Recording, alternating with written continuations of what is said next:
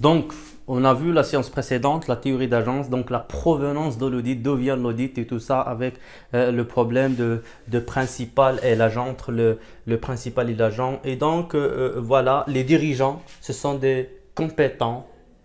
Les actionnaires, généralement, ne sont pas compétents. Les dirigeants, ils possèdent l'information, ils ont l'information. Les actionnaires, ils manquent l'information. Et donc, les actionnaires ont besoin, à la fin de chaque année, de l'information. Ils ont besoin de l'information. Et l'information est ce sont les états de synthèse. À la fin de chaque exercice comptable, les états de synthèse. Voilà, on va voir par la suite les états de synthèse, le bilan, le CPC, le tableau de financement et ainsi de suite. Les dirigeants, dans le cadre de leurs compétences, ils vont offrir une information. Donc la relation de la fin d'année, c'est une relation d'information. On va dire l'information, ils communiquent l'information parce que les dirigeants, ils tiennent donc c'est les personnes qui produisent l'information. Et puis, qui, et puis voilà, après la production de l'information, ils vont communiquer cette information aux tiers, aux utilisateurs des états de synthèse ou parties prenantes, y compris les actionnaires. Donc la relation d'agence, euh, la relation d'information, la relation d'agence, c'est une relation d'information. Et donc l'information transmise aux actionnaires, il peut être manipulé. Il y a le risque. Donc il y a le risque. Donc il y a un risque que l'information soit manipulée. Et donc lorsque je dis l'information de l'entreprise manipulée, c'est-à-dire qu'on risque de manipuler toute l'entreprise automatiquement manipuler toute l'entreprise. C'est la raison pour laquelle la loi a exigé et a obligé la certification d'un commissaire au compte ou un expert comptable. L'expert comptable, le commissaire au compte, c'est c'est tout simplement euh, l'auditeur. l'auditeur, c'est un expert comptable, un commissaire au compte. La loi, notamment 1795, qui concerne, qui est relative aux sociétés anonymes, modifiée et complétée, voilà, donc c'est la loi 0520, voilà, a été a, obligé la certification d'un CAC. Hein, le CAC, c'est un commissaire au compte ou un expert comptable. On va voir les deux, la différence ainsi de suite. Donc, l'information, il peut être manipulée. Donc, l'auditeur qui vient et qui, a, qui par l'obligation légale, il doit certifier l'information que les dirigeants est bonne. C'est-à-dire, tout simplement, l'auditeur, c'est quoi? Si on veut donner une définition, l'auditeur, c'est un examinateur, c'est un vérificateur des états de synthèse. Et auditer, c'est écouter, vérifier, contrôler, analyser.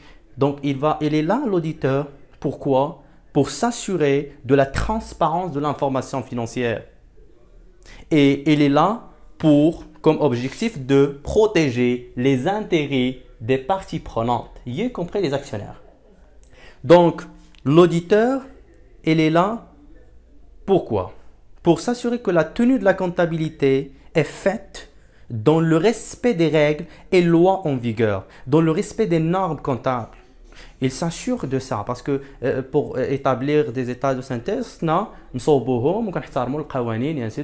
respecter ou l'auditeur ou vérifier Et donc, est-ce que l'information produite est bonne ou mauvaise? Donc, l'auditeur, c'est quelqu'un qui va certifier est-ce que les comptes, est-ce que les états de synthèse trois choses. Est-ce que les, états de synthèse sont sincères? Donc, il va vérifier la sincérité. Donc, sincère. Donc, sincère. Donc, il va vérifier est-ce que les états de synthèse sont sincères?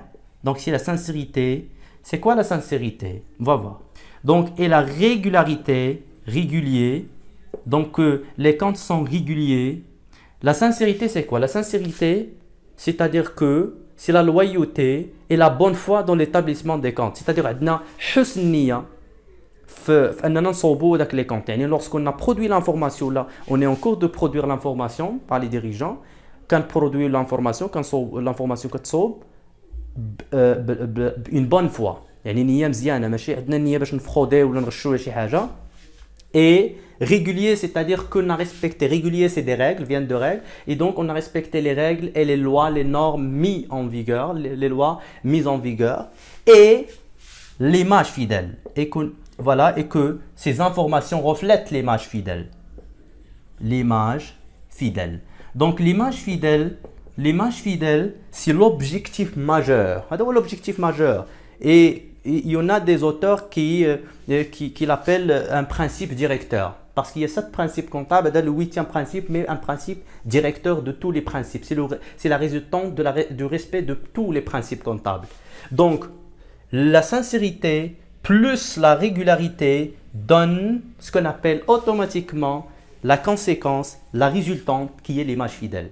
Et donc, l'image fidèle n'est que la résultante des deux précédents, la sincérité, les deux précédentes, la sincérité et la régularité. Et donc l'auditeur, c'est une personne compétente, habilitée à vérifier les états de synthèse, pour vérifier la sincérité des, informations, la régularité, et puis qu'il représente l'image fidèle. Et donc à travers et à l'issue, à la fin de ce travail de vérification, il va mettre en évidence s'il y a des fraudes. Il va mettre en évidence s'il y a des, irrégularités dans les comptes pour, pour pouvoir informer les actionnaires que l'information offerte par les, dirigeants ne pas, n'est pas bien. L'information n'est pas bien. Donc, oh, on arrive à la fin de, euh, de la deuxième séance concernant la définition. Je vous souhaite le bon courage. Allons-y à la troisième séance. Bye bye.